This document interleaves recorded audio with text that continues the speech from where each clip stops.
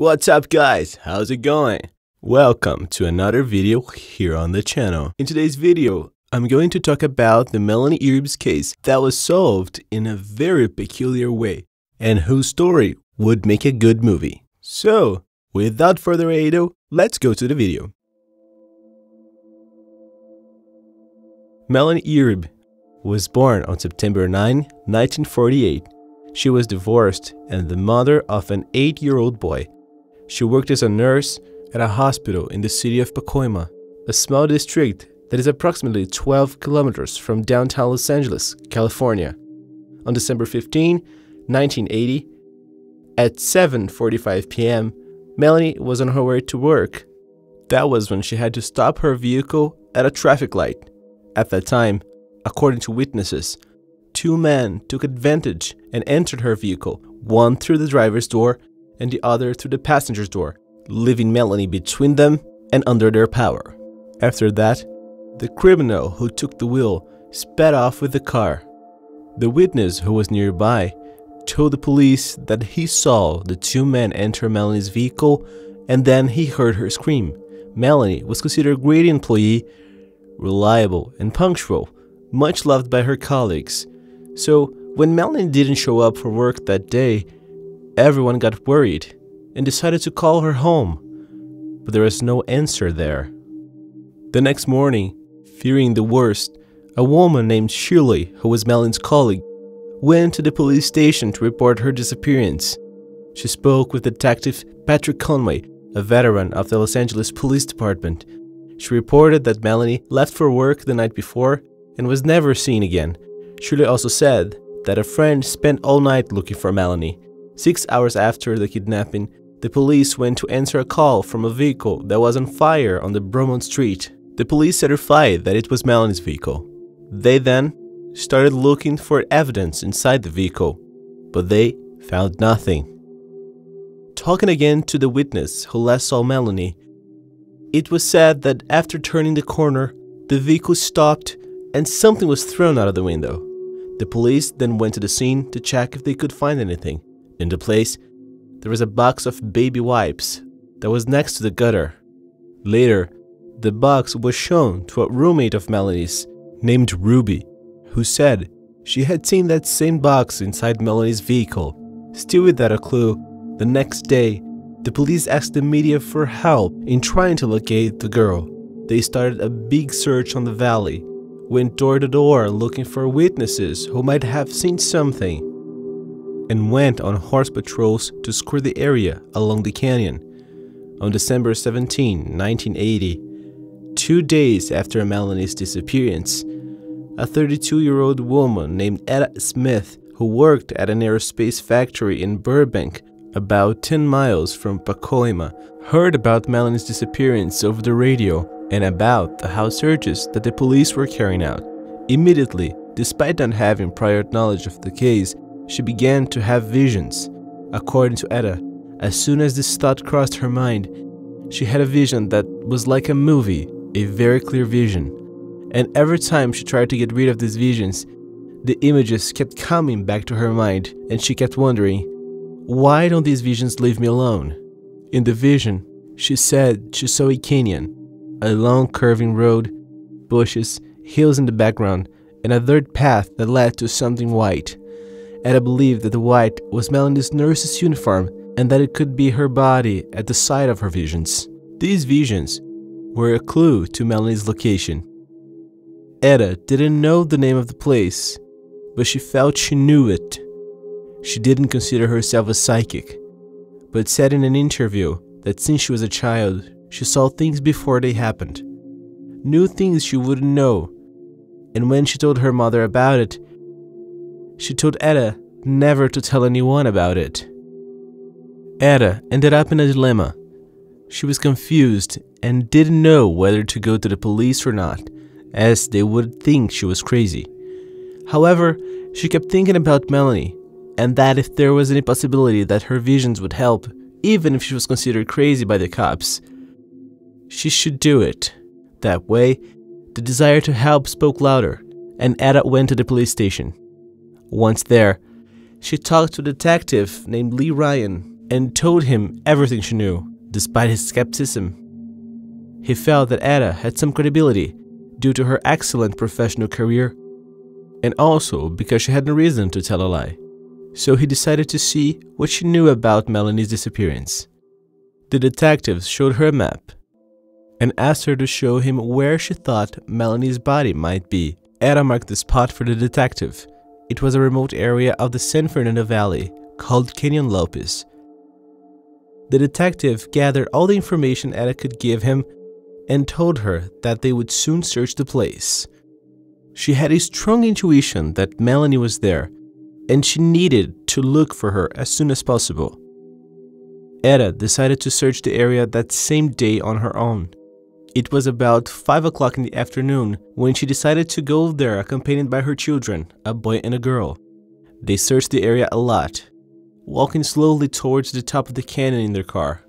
Etta ended up feeling Melanie's presence, so she decided to go down the canyon one more time to see if she could find anything.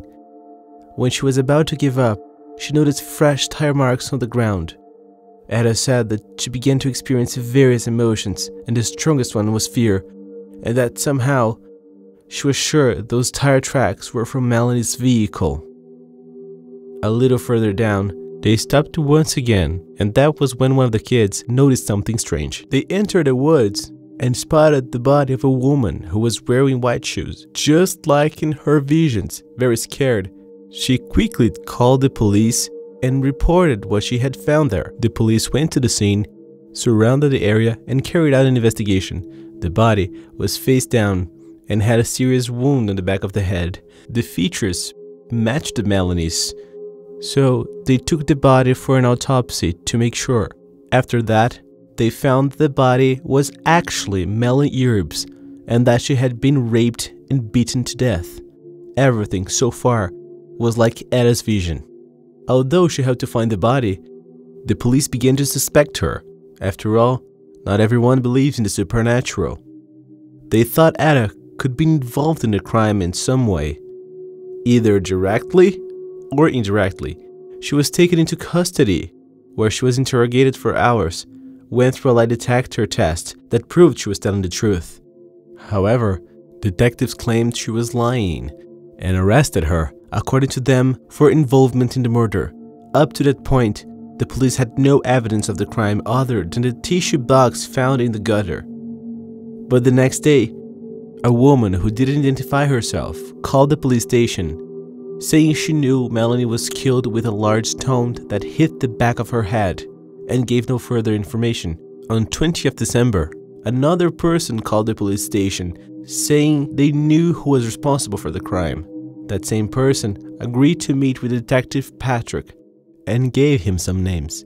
The informant alleged that he overheard one of the criminals talking about the crime in the neighborhood. The first suspect was Norman Willis, a seven-year-old boy from Pacoima who being a minor got away with talking to the police. So they decided to talk to Norman's parents, who named him after a friend of their son, a 20 year old man named Louis Morgan. Since Louis was already a drug dealer and on parole, the police took him into custody. At first, Louis denied having been involved in the crime. He later confessed. In his testimony, he said that on December 15th, he was joined by Norman and a 21 year old third man named Spencer Nielsen. According to him, they needed money, so they decided to kidnap someone, and to Melanie's misfortune, she was in the wrong place at the wrong time. When Melanie stopped at the light, Spencer got into the vehicle and held her, then the two other men got into and drove to Canyon Lopez.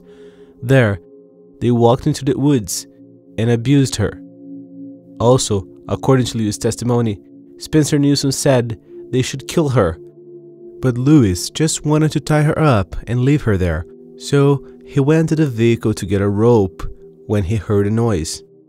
When he looked back, he saw Melanie on the ground and Spencer hitting her several times on the back of her head with a large rock. After they returned to the vehicle, Spencer took the stone he used to kill Melanie along with him. They drove back to town and dropped Norman Willis off at his house, then stopped at Bromont Street where they set Melanie's car on fire and drove away. Lewis even said that Spencer dropped the murder stone in the gutter near his girlfriend's house, and then the stone was gone. Spencer's files already stated that he had been arrested for kidnapping a girl. That ended up reporting him and he was arrested. He said this time he decided to kill the victim so she could not hand him over to the police. Detective Patrick then connected the dots. He found out that the woman who called the day after Melanie's body was discovered was in fact Spencer's girlfriend. Right after that, he went to the girl to ask her some questions. Once there, the girl said she would give him the stone. However, she would have to get it alone. He agreed, and 20 minutes later, she returned with the bloody stone in a pillowcase. On December 21, 1980, Etta Smith was released from prison after police concluding that she had no involvement in the crime. Los Angeles department officers never publicly apologized to Etta Smith about her mistake. So, a year after the incident, she sued them for wrongly arresting her. During the time she was in prison, Etta developed dysentery and lost nearly 13 pounds in just three days. According to Etta's lawyer, James Blatt, she was arrested for murder only because she found the body in an unusual way, even though they had no evidence against her. After all she went through, Etta said she doesn't regret what she did, and that if needed, she would do it all over again. Norman Willis, Lewis Morgan, and Spencer Nielsen were sentenced to life in prison for theft, abuse, and first degree murder. They served their sentence in a prison in the state of California. Melanie Uribe, born September 9, 1948, she was considered to be a great employee and much loved by her family and coworkers. She was kidnapped by three men who wanted money. The same men in addition to stealing her, took her life. His murder was solved in a very unusual way. The psychic, Etta Smith, through her visions, managed to locate the body, and that despite being arrested as a suspect, she said she has no regrets and would do it all over again. Well, guys, that's it. Thank you so much for watching me this far. Best wishes, and I'll see you next time.